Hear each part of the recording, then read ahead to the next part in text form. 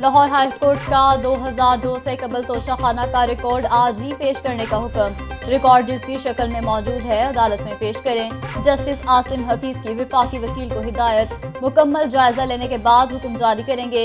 ये भी देखेंगे कि ये तोहफे किसने दिए। क्या तोहफा इसलिए दिया जाता है कि बदले में कोई फ़ायदा लिया जाए? हम इतने तो खूबसूरत नहीं कि कोई मुकाबला हुसन जीत लिया हो, जस्टिस आसिम हफीज के रिमार्क्स हाईकोर्ट ने केस की समात कुछ देर के लिए मुलतवी कर दी।